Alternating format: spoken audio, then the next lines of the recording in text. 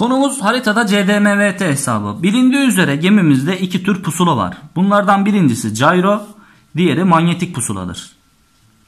Bunlardan manyetik pusula arkadaşlar bize tam olarak yönümüzü vermiyor. Çünkü e, bazı doğal ve yapay sapma dediğimiz sapmalardan dolayı tam e, yönümüzü net olarak belirleyemiyor. Ancak gyro pusula mekanizmasından dolayı çok küçük hatalarla bize tam yönümüzü verebiliyor.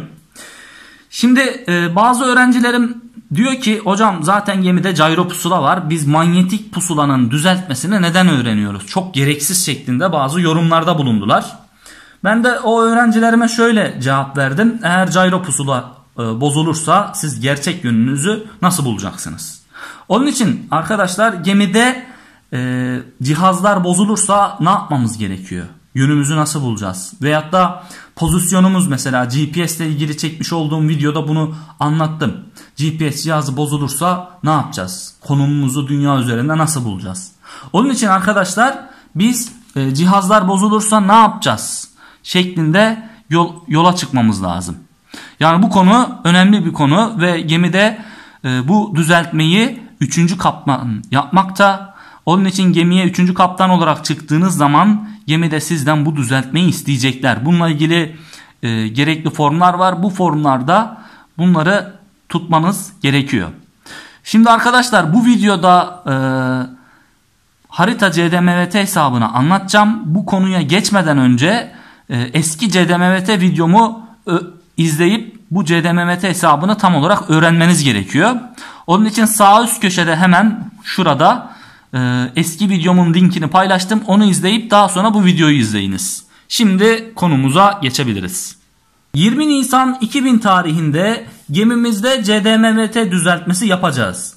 Öncelikle benim bulmam gereken CDMVT'den yola çıkarak C değerimi yani e, kompas değerimi bulacağım. Bu kompas değerimi varsayalım ki ben gemideyim. Manyetik pusulama baktım ve manyetik pusulada okuduğum değer bu oluyor.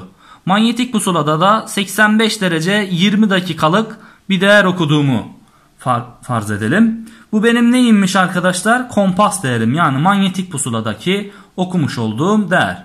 Şimdi ikinci adımımıza geldik D değerini bulacağız.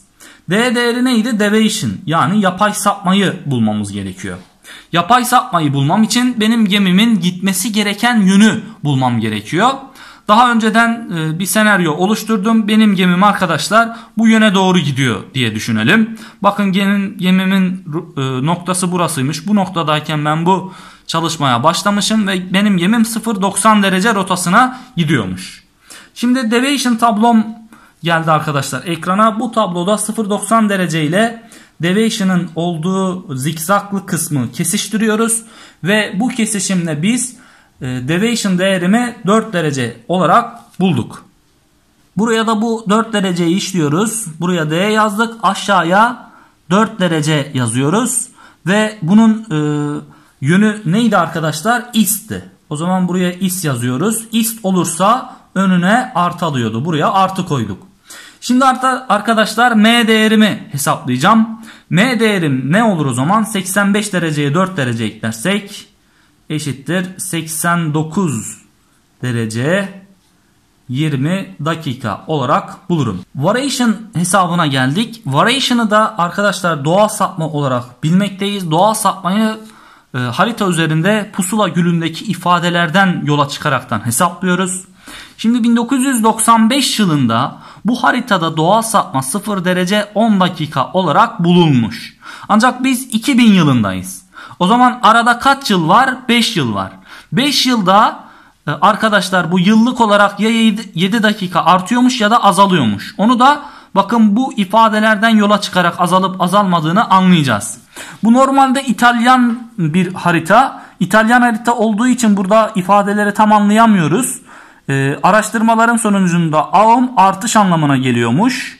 Dim ise azalma anlamına gelmekteymiş.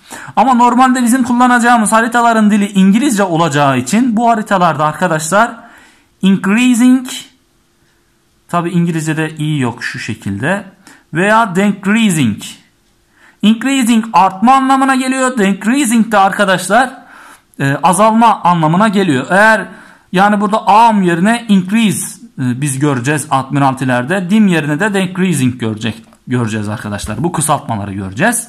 Burada artış anlamında kullanıldığı için biz bu 7 dakikalık artışı bunun üzerine ekleyeceğiz. Şimdi kaç yıllık bir fark vardı? 5 yıl. O zaman 5 ile biz arkadaşlar burada 7'yi çarparız. 5 kere 7 35 dakikalık bir artış olacak.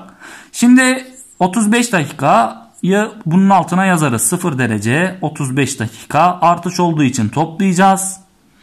Bakın bunları topladığımız zaman bizim variation değerimiz eşittir 0 derece 45 dakika ist olarak bulunur. Bu değeri buraya gelip yazacağız.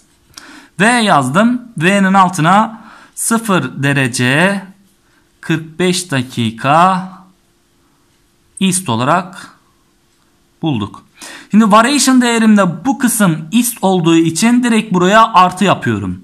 Eğer ist değil de west olsaydı eksi olacaktı. Şimdi arkadaşlar bununla bunu topluyorum. 45 ile 20'yi toplarsak 65 dakika yapar. 65 dakikada e, ki 60 dakika 1 derece olarak buraya geçer.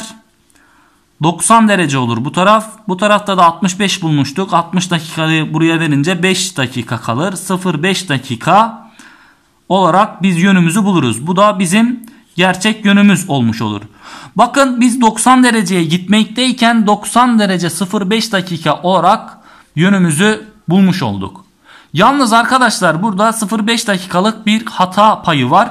Bu küçük hatalar manyetik pusulada e, olur. Bunları göz ardı edeceğiz. Yaklaşık olarak bize bunu veriyor. Gyro gibi çok yakın şekilde yönümüzü manyetik pusulanın hatasını düzeltsek de bulamıyoruz. Haritada CDMVT hesabıyla ilgili videomuzu da çekmiş bulunduk. Ee, bunlarla ilgili kafanıza takılan sorular olursa yorum kısmına yazmayı, videomuzu beğenmeyi ve yeni videolardan haberdar olmak için kanalımıza abone olmayı unutmayınız. Kendinize iyi bakın, hoşçakalın.